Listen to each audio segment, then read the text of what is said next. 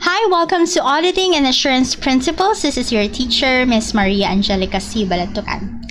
So we're now on our first module, which is entitled Audit and Assurance Basics. And lesson one of this module will focus on assurance and non-assurance services. Topics included for this lesson are concept of assurance, elements of assurance engagements, classification of assurance engagements, and non-assurance engagements.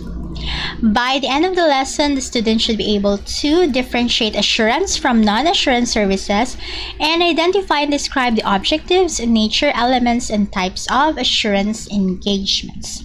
So let's begin. The concept of assurance. So what is assurance? To assure means to give confidence or conviction. In auditing sense, assurance refers to the auditor's satisfaction as to the reliability of an assertion being made by one party for use by another party. So the role here of the auditor is to give assurance, to give confidence that the assertion declared by one party is something reliable so therefore, the assurance services are intended to enhance the credibility of information about the subject matter, for example, the financial statements, by evaluating whether the subject matter conforms in all material respects with the suitable criteria. So the assurance services is a three-party contract which the assurers which include the CPAs, reports on the quality of information. So, what are assurance services? Examples are audits of financial statements of listed and unlisted entities, assurance on the balloting of contents, for example, in an Academy Award, and reporting on compliance of laws, rules, and regulations. To be called as an assurance engagement, five elements should be present. And what are these? First is the three-party relationship. So it's not two-party, it's not one party, but three-party. So who comprise who comprises the three-party relationship? So it includes the practitioner, the responsible party, and the intended user. So we'll talk about who are these in the next slides. Subject matter. This was mentioned earlier in the definition of assurance. So the subject matter should be appropriate, which is identifiable and capable of consistent evaluation, and information about it can be subjected to, to procedures for gathering sufficient appropriate evidence. So it should be appropriate criteria. The criteria should be suitable. And how do we know if it is suitable? It is relevant, complete, reliable, neutral, and understandable. Fourth, we have evidence. Sufficient and appropriate evidence is needed and it should be performed with professional skepticism. Okay, the evidence gathering should be with professional skepticism. Then number five, we have the assurance report. So the assurance report should be a written report that could either be reasonable and positive or limited and negative. Okay, remember these are the essential elements. All these should be present to be identify for an engagement to be identified as assurance engagement. First, we have the three-party relationship. So the three-party relationship includes what again? So you have the practitioner, you have the responsible party, and the intended users. So first is the practitioner. The practitioner is the auditor. So practitioner is the broader term for auditor as used in the professional standards, which relates only to practitioners performing audit or review engagement with respect to historical financial information.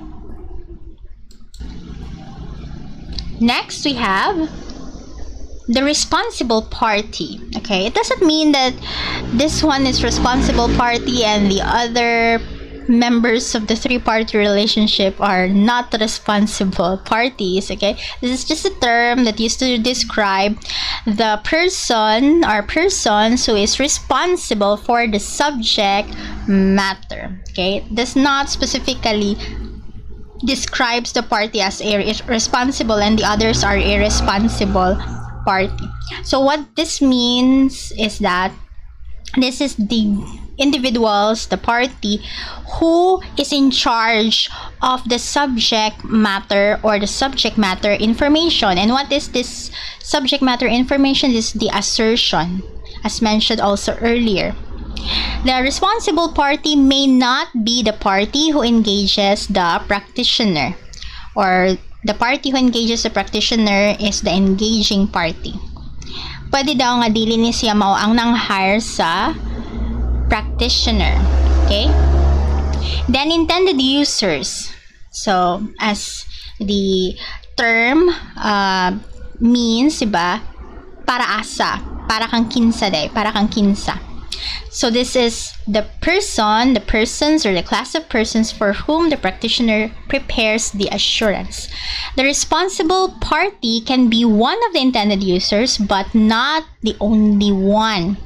So if you can recall, the responsible party is the one who is responsible for the subject matter, meaning siya ang nag-prepare or nasa ilahang department ang preparation or ang pag-produce information.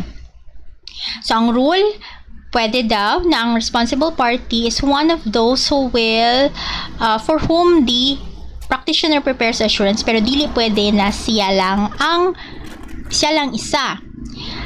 Ang intended users one uh, one of the intended users could be the responsible party pero dili pwede nga the responsible party is the only intended user okay that's in short. Whenever practical the assurance report is addressed to all intended users but in some cases there may be other intended users. Okay. So again we have three members of the three-party relationship, the practitioner, and then you have the responsible party. So that is the one who prepares the information, and then the intended users who will receive the report of the practitioner. And remember, the responsible party can be one of the intended users but not the only one intended user. Dapat na ay separate nga intended user. Because if it is the same person, Like the responsible party eh, is also the intended user. Meaning, wala tay ka third nga party, di ba? Usara man sila. So this is a two-party relationship. Dili siya three-party nga relationship. Okay? So, sa audit lang ta, mag-require gyud nga na ay three individuals in a relationship. di ba? Sa real life, di taganahan og three party, di ba? That is a love triangle. But in auditing, kinahanglan nga tulo. Okay? Dapat na I love triangle. Na aha, dapat tulugid ka buok ang members sa three party relationship. So that's the first requirement. So the responsible party and the intended users may be from different entities or the same entity. For example, an entity's senior management may engage a practitioner to perform an assurance engagement on a particular aspect of the entity's activity that is the immediate responsibility of the lower level of management, which is the responsible party, but for which senior management is ultimately responsible. Okay? So, naabay three-party relationship, ani? Yes. First, we have the practitioner.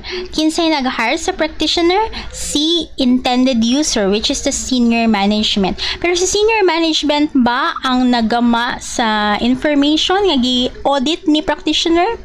Dili na ay lain nga party, which is the lower level of management. So, si lower level of management, siya ang responsible party. Okay? So, naa title lo ka party relationship.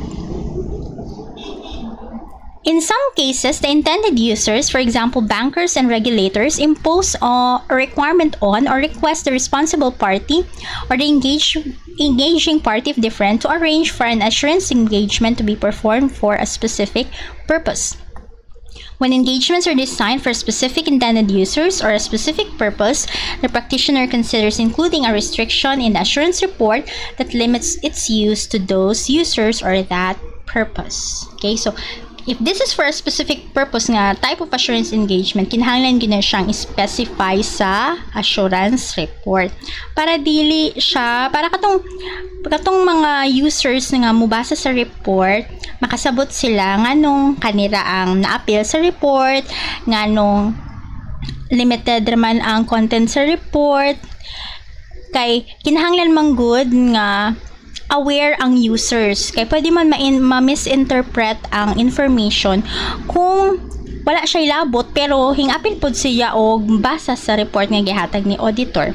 So, kinahanglan gyud siyang i-specify ang limitations adto nga specific nga report or special nga report. The second element of assurance engagements is the subject matter. So, the subject matter should be appropriate. And how do you know if it is appropriate? It is identifiable and capable of consistent evaluation or measurement against the identified criteria and such that the information about it can be subjected to procedures for gathering sufficient appropriate evidence to support a reasonable assurance or limited assurance conclusion as appropriate. So, mao niyang requirements para sa subject matter. And we have the term subject matter information. This is the outcome of the evaluation or measurement of a subject matter. Okay, this is the information that results from applying the criteria to the subject matter.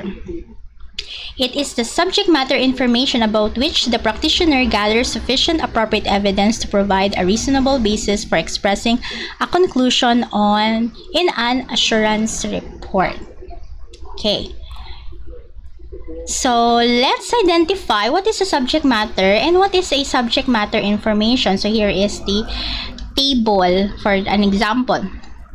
Okay, so you have there the form could be the financial performance or conditions, and the subject matter is the historical or prospective financial position, financial performance, and cash flows. So, in short, these are your financial statements, katong historical, prospective, mo ni siya tong forward-looking projections, mga projections ni siya, projected financial statements. And what information do we get from those or from the subject matter? You will get the information about the recognition, measurement, presentation, and disclosure represented in the financial statement. So, this is your assertions. Uh, another example for the form, it could be the non-financial performance or conditions. And what is your subject matter? That is the performance of an entity. And what information can you get from this one? You can use the key indicators of efficiency and effectiveness. That is the assertion. Okay, then physical characteristics could be another form. And the subject matter is the capacity of the facility, and what information can you obtain from the subject matter? The specifications document. So this is what the auditor will uh, audit. Systems and processes is another form. The subject matter could be the entity's internal control or IT system and the assertion that will be audited would be the assertion about effectiveness. And the form is behavior. The subject matter could be the corporate governance, compliance with regulation, human resource practices. And the subject matter is a statement of compliance or a statement of effectiveness. So, kaning subject matter, information, mao ni siya ang focus ni auditor. Nya asa man niya kuha ni nga information, gikan na siya aning subject matter.